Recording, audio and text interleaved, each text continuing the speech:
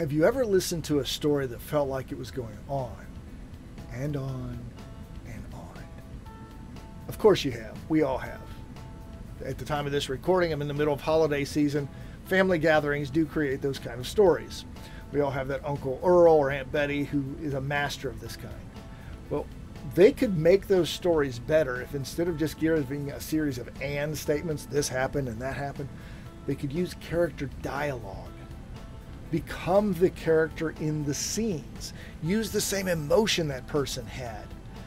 Give us internal thoughts of your, your characters, and that creates a much more dynamic experience. It helps the audience feel as if they're in the story with you rather than just being talked at with a bunch of facts, figures, and data, which is extremely boring.